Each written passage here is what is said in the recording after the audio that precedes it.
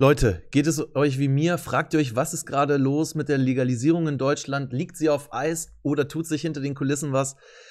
Hier haben wir ein ganz interessantes Interview vom Vorwärtsmagazin mit Dirk Heidenblut, Gesundheitsausschussmitglied im Bundestag, arbeitet für die SPD und er wird hier seine persönliche Meinung, wie die Legalisierung in den nächsten Monaten vonstatten gehen kann, äußern. Und so eine Aussagen habt ihr bisher von einem deutschen SPD-Politiker meiner Meinung nach noch nicht gehört. Wirklich ein tolles Interview, spannende 15 Minuten, bleibt bis zum Ende dran. Gerade seine letzte Aussage, die wird euch wirklich mit einem wundervollen Gefühl in den Tag oder in den Abend starten lassen. Das verspreche ich euch. Und das schauen wir uns jetzt einfach mal an. Okay, dann lassen wir uns mal nicht aufhalten und starten mit der Reaction. Hallo und herzlich willkommen zu einer neuen Folge von Erklär mir mal die Welt. Wann wird endlich Cannabis legalisiert? Darüber wollen wir heute sprechen mit Dirk Heidenblut. Dirk Heidenblut ist äh, in dieser Legislaturperiode wieder Mitglied des Ausschusses für Gesundheit und da unter anderem zuständig für die Cannabispolitik. Hi. Hallo. Ja, herzlich willkommen hier wieder beim Vorwärts. Äh, das letzte Danke. schon einige Monate her. Das war im Sommer, wenn ich mich richtig erinnere. Äh, ja, genau. Immer das gleiche Thema, aber längere Zeiträume. Genau. Ja, schön, dass du wieder bei uns bist und äh, bereit bist, uns in 15 bis 20 Minuten ein bisschen was über Cannabis zu erzählen. Ähm, Dirk, die erste Frage. Warum Wann wird Buberts legal? Cannabis eigentlich noch nicht legalisiert? Olaf Scholz ist doch jetzt seit etwas mehr als einem Monat im Amt. Ja, also an Olaf Scholz liegt nicht, so viel kann ich schon mal sagen. Ähm, und äh, ja, er ist seit etwas mehr als einem Monat im Amt, aber man muss dazu vielleicht das Verfahren verstehen. Wenn der Kanzler gewählt ist und wenn die Regierung zusammengetreten ist und damit die Regierung gebildet ist, erst dann können die Ausschüsse im Bundestag gebildet werden. Und die Frage, ob ein Gesetz gemacht wird oder nicht, ist eine parlamentarische. Also die muss sozusagen, da muss das Parlament für funktionieren. Und erst wenn die Ausschüsse gebildet sind, ist klar, wer ist zuständig wofür und dann kann die Arbeit losgehen. Und das ist tatsächlich erst seit der letzten Sitzungswoche der Fall, denn erst seit der letzten Sitzungswoche ist klar, wer wird für, für den Cannabisbereich zuständig sein. Ich weiß das jetzt, dass ich es bei uns wieder sein werde, aber äh, das mussten natürlich auch die Kolleginnen äh, Kollegen von den Grünen, von der FDP klarkriegen, von den anderen Fraktionen. Das haben wir jetzt und jetzt kann es losgehen und ähm, jetzt sozusagen äh, werden wir intensiv daran arbeiten. Ich warne aber davor, Legalisierung macht man nicht mal eben. Also auch in den nächsten vier Wochen werden wir noch nicht erleben, dass Cannabis legal ist, aber hoffentlich. Leute, erste, zumindest. Habt ihr das gerade gehört? Also, erstmal, es ist kein Stillstand in der Politik, weil viele ja gedacht haben, oh, es passiert ja gerade gar nichts. Er hat es gerade ganz gut beschrieben. Er hat gesagt, die Ausschüsse mussten erstmal gebildet werden und ich hatte ja auch Informationen im Hintergrund, dass da wirklich noch dran gearbeitet wird und da nichts im Stillstand steht. Aber man will ja die Euphorie ein bisschen runterhalten. Und jetzt haltet euch mal fest, was er gerade sagt. Also, in den nächsten vier Wochen haben wir jetzt nichts zu erwarten, aber dann, also er spricht hier nicht von Monaten und nicht von Jahren. Und jetzt hören wir mal weiter zu, weil das klingt auf jeden Fall sehr vielversprechend, Leute. Vorsichtige Schritte in die richtige Richtung. Was äh, braucht es denn? Also wie kann man sich das jetzt vorstellen? Worüber müsst ihr im Bundestag eigentlich diskutieren, damit Cannabis legalisiert wird? Naja, wir müssen ein Gesetz dafür machen. Die äh, Grünen haben das ja mit dem äh, Cannabis-Kontrollgesetz in der letzten Legislatur schon mal vorgemacht, wie das aussehen könnte. Ähm, aber wir müssen ein Gesetz dazu machen, das ganz viele Punkte regelt. Von der grundsätzlichen Frage der Legalisierung. Das kann man jetzt sagen, ist vielleicht nur ein Federstrich, weil es muss einfach nur aus der Illegalität gehoben werden. Aber es muss ja dann auch geklärt werden, wer darf es denn verkaufen? Also wie erfolgt die Abgabe? Wie viel darf jeder bekommen oder jede bekommen? Wo kriegen wir es eigentlich her? Da haben ja gerade die Kolleginnen und Kollegen in den Niederlanden äh, im Moment noch immer Probleme mit, obwohl die schon lange mit ihren Coffeeshops zugange sind. Äh, wie sieht das im Straßenverkehr aus? Also was passiert dann an der Stelle und so weiter und so fort. Also Unmengen Wichtige Fragen, Fragen. die müssen in einem Gesetz gebündelt, geregelt werden.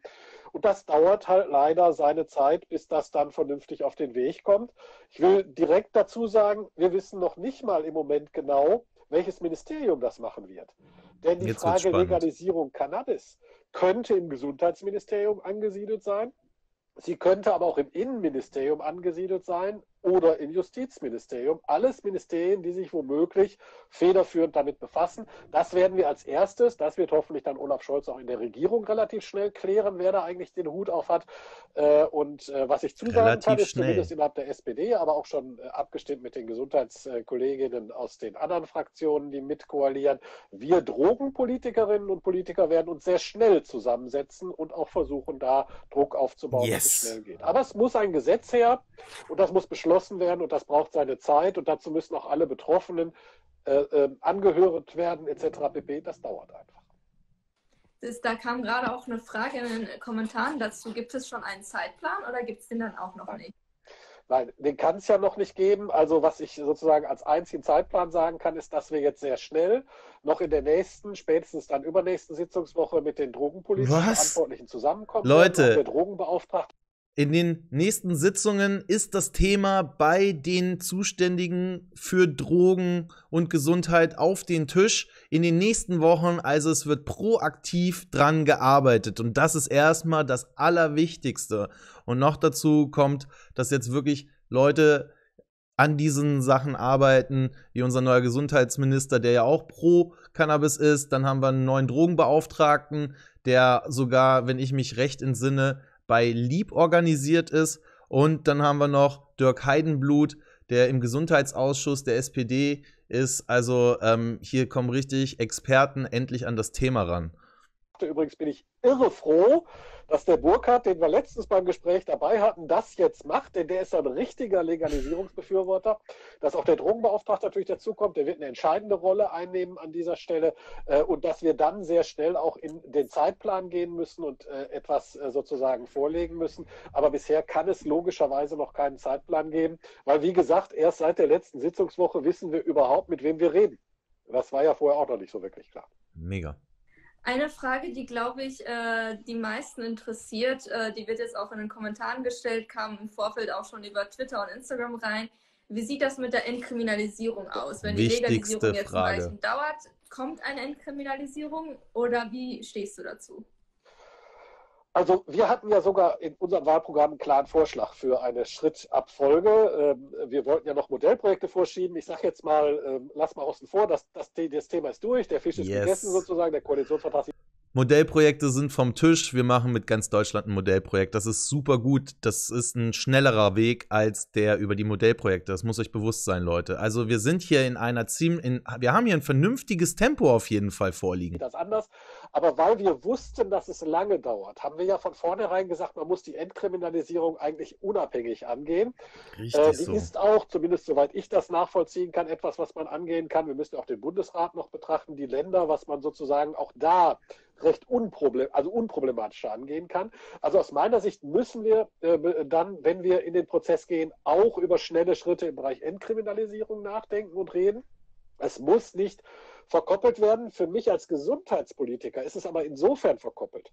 Eine Entkriminalisierung, ohne dass am Ende eine Legalisierung steht, halte ich für brandgefährlich. Okay, Denn das bedeutet lediglich, dass wir den Leuten dann entkriminalisiert den Besitz des Cannabis erlauben, das versetzt im Schwarzmarkt vertickt wird. Und das, ehrlich gesagt, ist, kann kein gesundheitspolitisches Ziel sein. Also Entkriminalisierung als erster Schritt, als schnelle Maßnahme, yes. begleitend zu einem klaren Legalisierungsprozess, ist sicherlich ein sinnvoller Weg, aber nicht Entkriminalisierung isoliert davon betrachtet. Deswegen müssen wir beides Amen. zu Beginn zusammendenken. Dann kann aber die Entkriminalisierung äh, sozusagen äh, sicherlich unabhängig schneller äh, umgesetzt werden. Ob das die anderen so sehen, kann ich jetzt auch noch nicht sagen, weil wie gesagt, wir haben noch nicht miteinander geredet. Das kommt ja jetzt erst.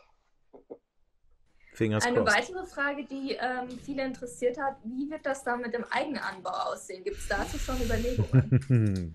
Wichtigste Frage äh, fast, also oder? Es gibt, gab in dem Cannabis-Kontrollgesetz dazu ja bereits Überlegungen. Es gibt eigentlich, glaube ich, in allen beteiligten äh, Parteien, Fraktionen Überlegungen. Äh, da ist man auch noch nicht ganz schlüssig. Da gab es auch bei der, bei der äh, letzten Diskussion noch äh, Fragen, in welcher Größenordnung. Ich kann von mir persönlich sagen, ich halte Eigenanbau für unverzichtbar, äh, wenn wir über Fragen von Legalisierung reden.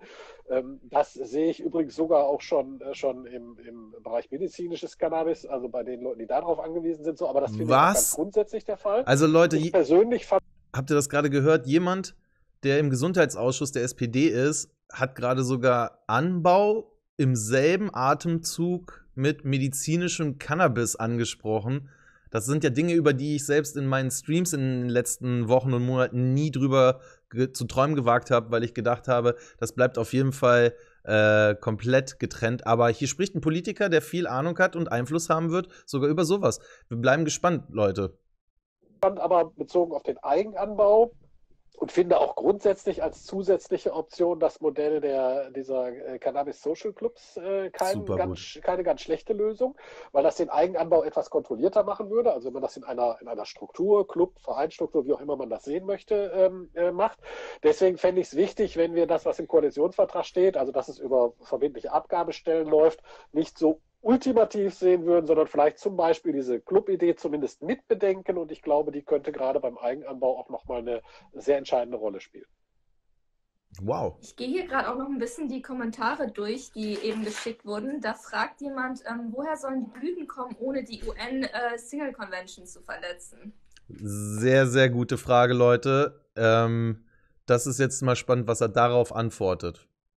Ja, auch das ist eine Frage, die wir klären müssen. Also theoretisch könnten wir natürlich womöglich selbst äh, was machen. Da haben wir aber auch wieder ein Problem, weil man eigentlich, äh, das haben wir bei Kanada erlebt, medizinisches Cannabis und dann den Anbau für konsumfreigegebenes Cannabis nicht so ohne weiteres regeln kann.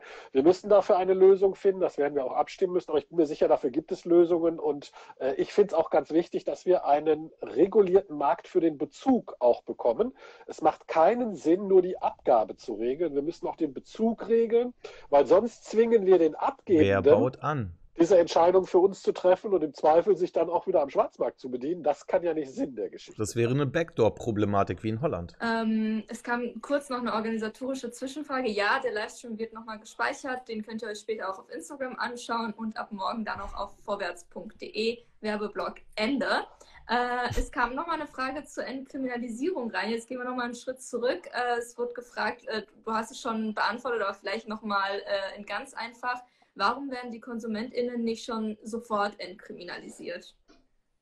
Naja, also erstens, weil auch die Entkriminalisierung natürlich ein Gesetzgebungsvorgang ist. Also das macht man auch nicht mit einem Federstrich. Da muss man auch sehr genau aufpassen, dass man nicht äh, sozusagen äh, da was falsch macht. Man muss auch eine Größenordnung dann festlegen. Das ist wahrscheinlich zumindest denjenigen, die sich mit Cannabiskonsum äh, schon mal beschäftigen. Klar, in Deutschland gibt es da sehr unterschiedliche Regeln, zurzeit auch schon, was die Nichtverfolgung dann möglicherweise angeht. Das muss man klar regeln. Es kann nicht sein, dass dann äh, der Besitz der Privatbesitz von, von 6 Gramm in, äh, in, keine Ahnung, Berlin und 20 Gramm in, in äh, Hamburg entkriminalisiert ist. So geht es dann auch nicht. Also auch da wird man Lösungen für finden müssen. Insofern ist das ein Prozess, der auch kommen muss. Auch dazu brauchen wir ein Gesetzgebungsvorhaben.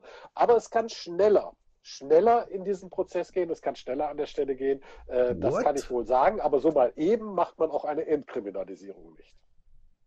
Ähm, das Wort auch, schnell fällt äh, im Vorfeld oft. sehr stark gefragt wurde, ist, ähm, wie sieht es aus mit den Grenzwerten bezüglich äh, des Führerscheins und des äh, Cannabiskonsums im Verkehr?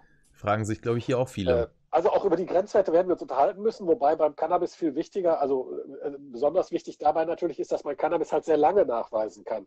Und das ist eben so ein bisschen der Unterschied zum Alkohol auch wenn ich alkoholisiert Auto fahre äh, oder wenn ich abends Alkohol trinke und einen Tag warte und dann Auto fahre, fahre ich meistens nicht mehr alkoholisiert. Ich will jetzt keinem empfehlen, das zu schnell zu machen. So, bei Cannabis sieht das anders aus. Da kann ich, länger vorher schon Cannabis äh, genossen haben, fahre dann Auto und werde dann immer noch mit einer bestimmten Menge erwischt, die möglicherweise sogar den Grenzwert überschreitet. Äh, deswegen müssen wir dafür Lösungen finden. Wir müssen da äh, Kontrollmechanismen anders finden. Wir müssen es aus meiner Sicht gleich behandeln mit Alkohol. Äh, ich äh, gebe aber da auch zu, und da mache ich mir jetzt wahrscheinlich keine Freunde, ich bin durchaus ein großer Freund der Null, äh, auch Promillegrenze beim Alkohol. Ähm, das würde ich dann auch bei Cannabis sehen. Aber wenn wir das eine so behandeln, muss man auch das andere so behandeln. Also eine Gleichbehandlung finde ich grundsätzlich schon gar nicht verkehrt. Ähm, aber das äh, wird auch angegangen. Ist keine Frage. Das äh, muss man äh, im Zweifel auch vielleicht mit der Entkriminalisierung schon mitdenken, weil äh, wir erleben das ja jetzt auch, dass das häufig neben gut. der Kriminalisierung auch die Frage Führerscheinentzug sich bewegen im Straßenverkehr. Ähm, ja, ich will nicht sagen, benutzt wird, aber dass das auch ein Aspekt von Strafe womöglich darstellt. Äh, und deswegen glaube ich, dass wir das Thema Straßenverkehr auch sauber regeln müssen, äh, dann auch schon wahrscheinlich im Rahmen des Entkriminalisierung, der Entkriminalisierungsdiskussion, so wie sie überhaupt getrennt kriegen.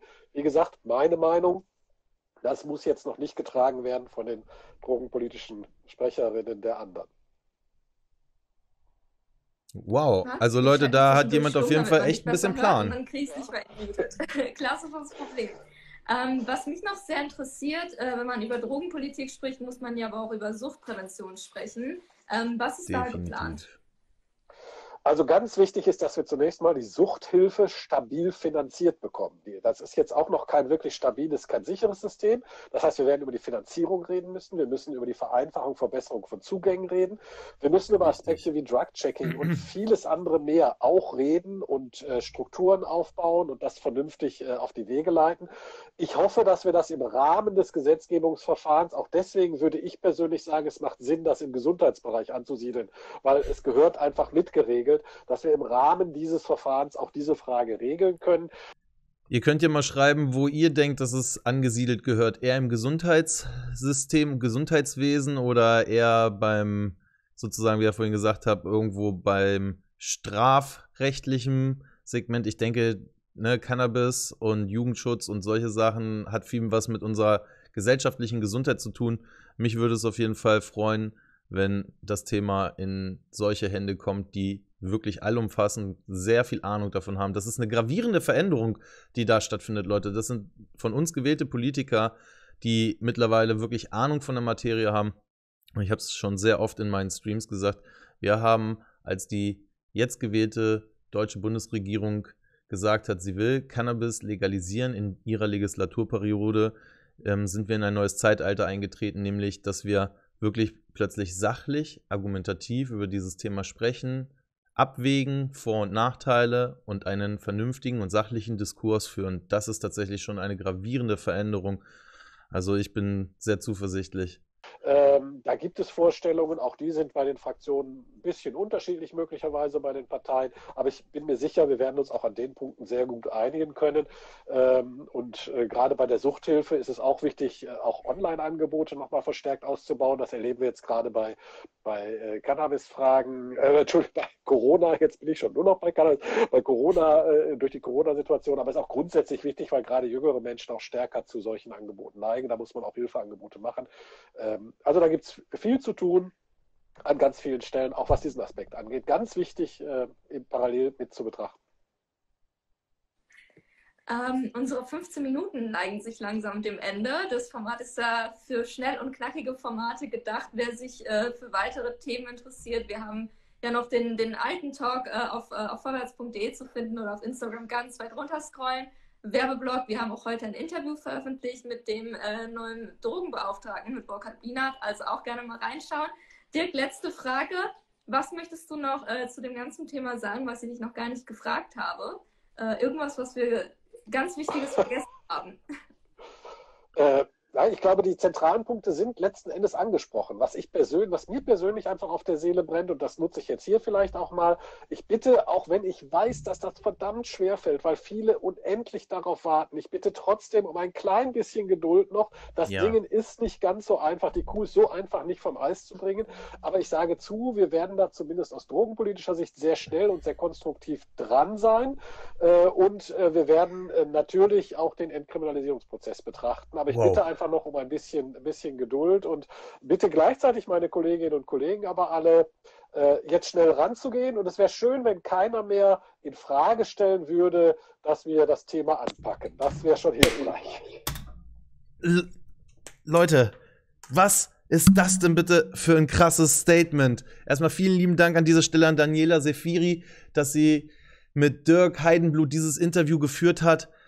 Ähm, ich kriege gerade ein bisschen Gänsehaut. Habt ihr dieses letzte Statement gehört? Darum ging es mir auch, euch mal zu zeigen, dass hier gar kein Stillstand ist, dass wirklich unsere gewählten Politiker wirklich an der Sache dran sind und seine Aussage vorhin, ja, erwartet bitte in den nächsten vier Wochen. Er hat nicht gesagt in den nächsten vier Monaten oder in diesem Jahr, erwartet dieses Jahr nichts. Nein, er hat gesagt, erwartet in den nächsten vier Wochen nichts. Wir sind dran, wir wissen, was wir zu tun haben ich unterstelle denen jetzt auch mal, dass die mit unserem neuen, wirklich kompletten Team, die sich daran setzen, mit den ganzen Experten, wirklich mit unserem neuen auch Drogenbeauftragten, ähm, jetzt ein absolutes Kompetenzteam bilden und wir zuversichtlich sein können, dass hier wirklich Leute, die Ahnung vom Fach haben, das machen. Leute, ähm, vielen lieben Dank nochmal an das, ähm, an dem, für den Beitrag an das Vorwärtsmagazin. Ähm, das ist ein YouTube-Kanal der SPD. Verlinke ich euch natürlich unten und auch den Instagram von Heidenblut. Ähm, auf jeden Fall folgen. Was für ein krasser Mann. Ähm, und ich würde sagen, es sieht sehr gut aus. Also lasst uns, wie er gesagt hat, einfach ein bisschen Ruhe bewahren. Er hat uns das Versprechen gegeben, die Experten und die Entscheidungsträger sind an dem Thema dran. Tolle Aussagen sind getroffen worden. Und jetzt bleiben wir ein bisschen geduldig und schauen zuversichtlich in die Zukunft. Wenn euch das gefallen hat, Leute, schaltet immer donnerstags um 19.15 Uhr bei mir auf Twitch ein. Da reagiere ich auf solchen Content live mit der Turb Crew. Und jetzt wünsche ich euch noch einen wundervollen Tag. Ich bin raus, euer Vince.